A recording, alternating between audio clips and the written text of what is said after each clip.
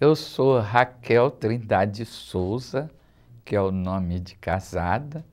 O nome de solteira era Raquel Solano Trindade, que quando eu era premiada com os quadros, diziam, é, é porque você é filha de Solano Trindade.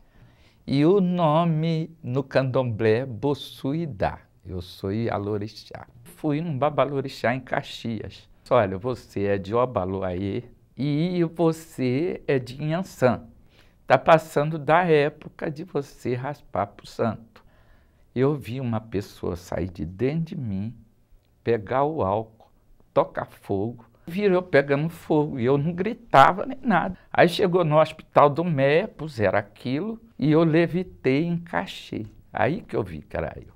Aí foi dois meses gritando de dor sem parar. Abriu aqui, aqui abriu tudo. Quando eu saí do hospital, papai me chamou para morar com ele. Um dia estava todo o pessoal assim conversando comigo, deu um relâmpago do nada, eu parei de falar e de andar.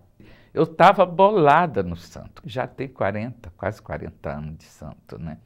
Nasci no Recife, dia 10 de agosto de 36. Quando meu pai quis vir para o sul, ele, nós fomos morar com meus avós no Pina, que eu nunca mais esqueço, de vez em quando eu pinto essa casa.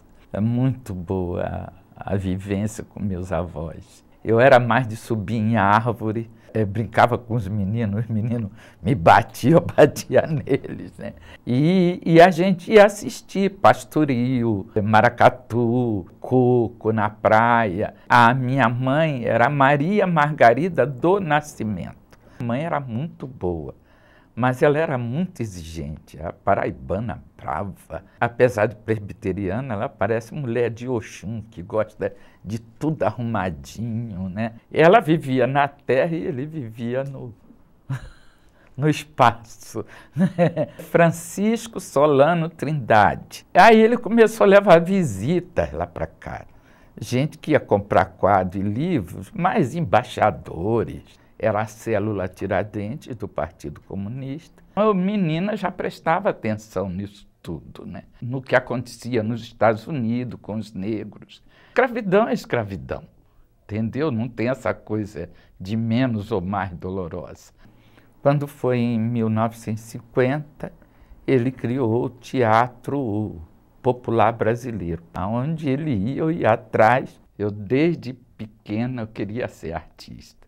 Eu faço pintura, xilogravura com 12 anos. Ganhei o primeiro prêmio de literatura juvenil. Fiz vários carnavais com Solano Trindade, um moleque do Recife, em 76. Em 77, José Maurício, músico do Brasil Colonial. Fiz figurino, carro alegórico, enredo. Em 75, eu criei o Teatro Popular Solano Trindade ensino danças, que eu dei maracatu, coco, lundu, jongo, candomblé.